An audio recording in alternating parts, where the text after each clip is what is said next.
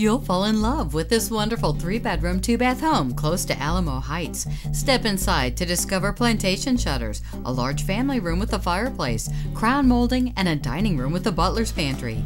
The eat-in kitchen sports recently updated appliances and lots of cabinets. The master has two closets, a ceiling fan, and a separate tub and shower. Call Karen and make this home yours.